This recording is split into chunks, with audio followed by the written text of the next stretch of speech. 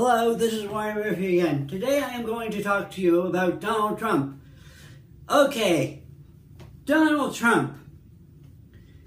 Donald Trump. Uh, okay, Donald Trump. He's trying to put sanctions on U.S. companies that are here in Canada so we can avoid what's happening in the U.S., I believe. So we can avoid what's happening in the United States of America. America because of the uh, trial that, that, he's, uh, that he's doing. Because of the investigation of the U.S. Senate, because of the investigation. Then he goes on Twitter and decides uh, decides that to tweet about it and to get all mad and pissed off. It's not helping the situation out as U.S. president. He's not going to be helping the situation out as U.S. president, and he's not going to help anything else as U.S. as U.S. president. And the fact is that Donald Trump likes to rage on Twitter. If he this can stop raging on Twitter and stop raging on Twitter and stop doing this and that on Twitter, this maybe people will leave him alone. And he just he decides to rage on Twitter. If he just lets it go on Twitter and not and don't rage on and don't rage on Twitter, then everything's going to be okay with him.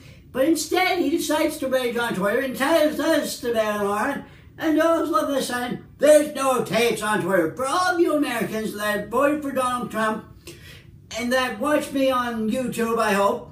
I hope there's a bunch of Americans that watch me on YouTube, that watches my channel on YouTube. I hope that you realize that Donald Trump wasn't the best U.S. president in the world. Why do you think he signed so many orders? He doesn't care about the U.S. He only cares about one thing, making money for himself and making himself rich. And making himself rich again. Again, when, when he gets out of office, he'll be even more wealthier than he was in, when he was in office. So today, to, I am going to talk to you about Donald, not Donald Trump anymore, but, but, but I'm going to talk to you about President Obama.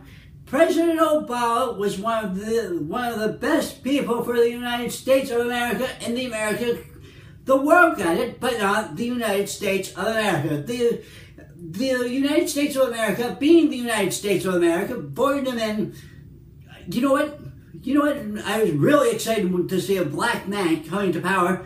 And when the end of the term ended up, when President Trump, when, uh, when Obama's end of the term ended up, ended, I was shocked and amazed when Donald Trump got in. He's not the U.S. president. I'm not even going to call him Donald, President Trump. He's a president-elect moron, as far as I'm concerned. And that the fact is with Donald Trump is that he's never going to be in. And I never thought that, I think Russia played with the computer somehow. And Russia also played with the computer somehow, and they did all sorts of things. Now I have to think about what I'm going to say again.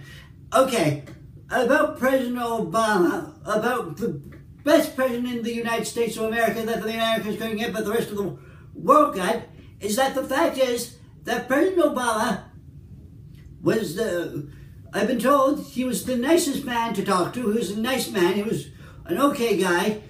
Guy. He was really, really nice. Nice to talk to. He was an okay guy. He, he liked the, the U.S.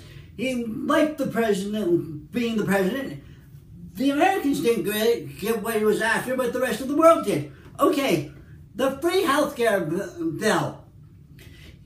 Donald Trump wants to disbar the free health care bill, bill and decides to vote the free health care bill, uh, bill. That's the biggest mistake that they could have ever made. And some people that are on the free care, the free health care bill voted for that man, and now they're regretting that they voted for this guy. I don't know what the hell were their thinking. He fed them all the information that they wanted, and all the information that they want. Um, I also said this on my on my all on my other videos that the that they fed him all the information that he wanted, and that they fed him all sorts of information that they wanted, and all sorts of information that. Uh, that they wanted and all sorts of information that uh, the American, well, yes, the G8, the G8, the G8, the European Union, the uh, NAFTA agreement, and, and, all this crap, and all that crap, and all this crap again, and all of a sudden, he finds out if he wants to get jobs, he has to stay in NAFTA. It would be, I think, if he gets out of NAFTA, it would be a big mistake for the United States of America. It would be an even bigger mistake to get out of the UN, and it would be an even bigger mistake to get out of the G7. Here, I heard that not only did Donald Trump was out of the G7, I also heard that Donald Trump was drunk when he was in the G7. He was, he was behaving less than stupidity. Stupidity, the man is stupid. He's a moron. He's a dork. He's an idiot. He's an idiot, and the people, and some Americans voted for him. The voted, the guy that that they voted for was stupid as hell, uh, hell, and that I think that's my opinion. How how in the hell does anybody like him? I've watched I watched him. Most Canadians say he's doing a good job. I don't think so. All he wants to do is to get himself rich and nobody else rich except himself. For his daughter and his son, that ended up as the president's advisor and the president's assistant advisor, all of a sudden it's now it's it's, it's now a big deal. Why the hell did they do something when they started in the first beginning? Because this guy was a billionaire and nobody was nobody could challenge him. In Saudi Arabia, Rush Limbaugh said, "Oh, there was no protest. They had protest, you idiot. It's a, not a democratic country. If they tried to protest, if they tried to protest, they'd get their they'd get their asses all kicked. They get what Limbaugh. So uh, Donald Trump." wants to do the medieval torture to the gays, that's what would happen in Syria. The medieval tortures to the gay would happen in Syria. What would happen in Syria? Uh, Syria was the he put the medieval tortures to the gay. What happens in Syria was uh, waterboarding and uh, drowning and all the stuff that Donald Trump would want to do with the gay to the gays in the U.S. That Syria happens. Syria does the waterboarding the drownings, the killings, the everything else that Donald Trump wants to do to the gay people. And you know something?